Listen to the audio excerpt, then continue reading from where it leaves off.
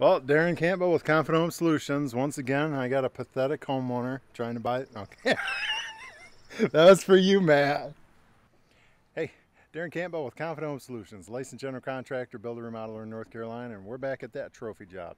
So they've been off for a little bit, and they've um, they've been transitioning, getting everything moved from their shop over to this other shop, and in the meantime, they picked up some cabinets to, to go against the wall. Well, we showed up here getting ready to install them. Uh, these cabinets are from Lowe's. They have, they're comprised of some type of MDF either way. Uh, the, and it's not, it's a compressed small particle. I was concerned about using them in a, uh, a shop area where there's moisture. I, I think they're just gonna deteriorate and they're gonna have a lot of issues with them. Now, so it just happened to be we had uh, some leftover hardwood maple cabinets that have, were finished with French vanilla. Really nice cabinets. We had them left over from a kitchen job that I misordered.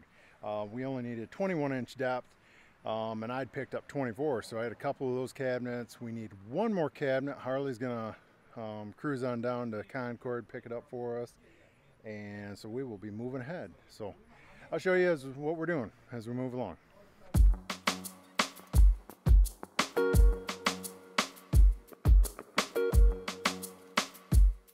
So the shop floor actually measured 7 eighths of an inch difference from one side to the other.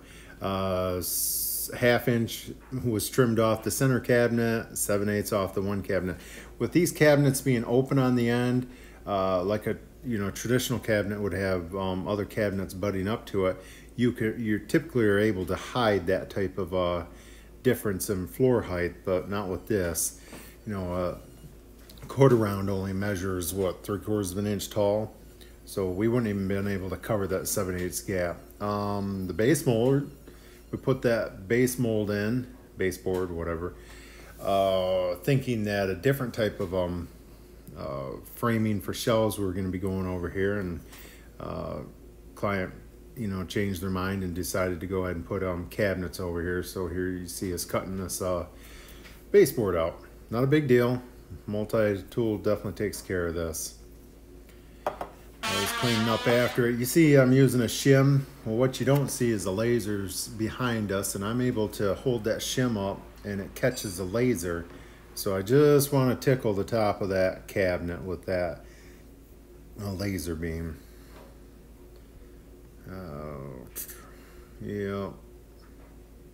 And I'm using that magnet there uh, to catch a wall stud. Uh, Harley's setting that other cabinet. So, a lot of times I'll come up here and grab a stud with a magnet. Uh, I don't know where I put the magnet. Right here.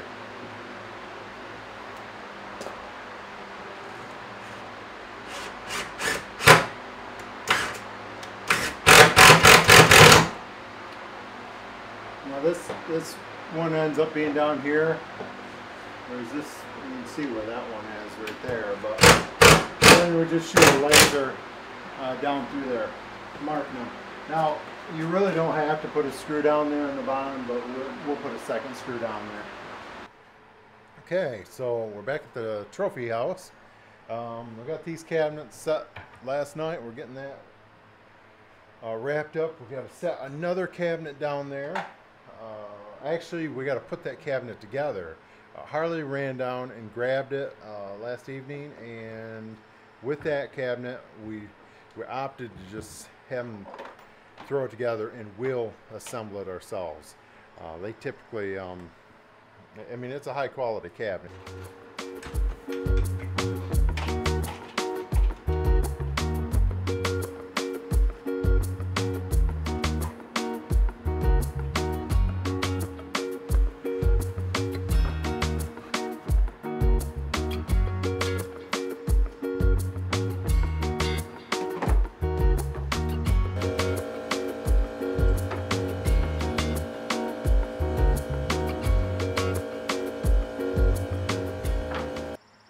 Right, so we've uh, we've assembled these cabinets before um, in a pinch. Um, we use uh, Gorilla Glue, uh, the original, the one that expands. Uh, he's getting the staples ready, and we figured out what staples we need, and we gotta, let me see, I gotta take the doors off, sand on the back side of the face frame, get that all prepped, and yeah, let's do it.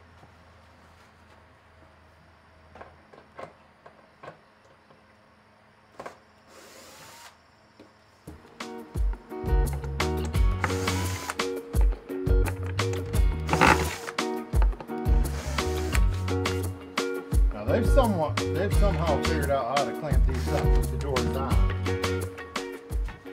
Right where this, um, they they have this coating on here, and we found that to get a decent adhesion, um, we run some sandpaper down through it.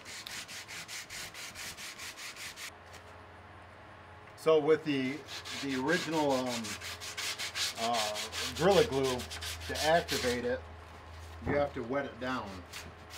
It doesn't take much water, but that really helps as far as getting the, uh, the glue to kick off, start its gluing process.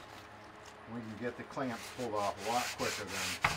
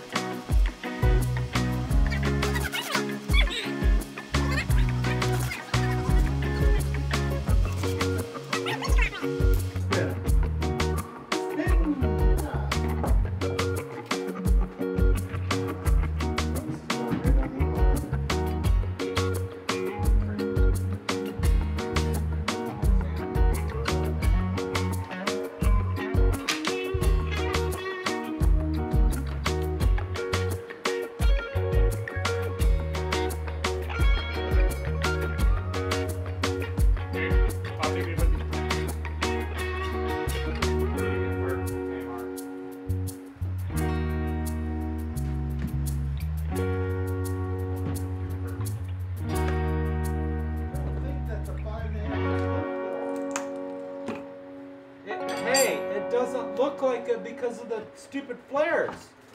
No, I don't think it is. Come on, just shut up. It is.